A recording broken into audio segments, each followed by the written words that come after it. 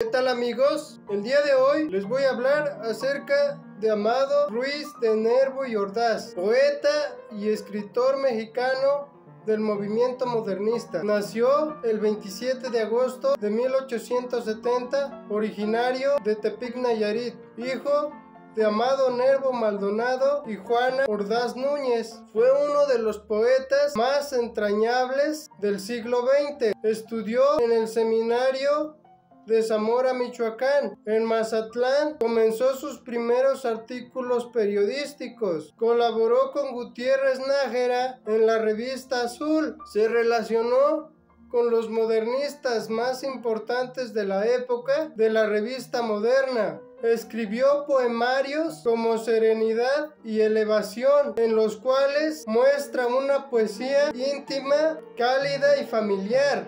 Fue profesor en la Escuela Nacional Preparatoria, diplomático en España, Argentina y Uruguay. Falleció en Montevideo el 24 de mayo de 1919. Espero les haya gustado y nos vemos en el siguiente video.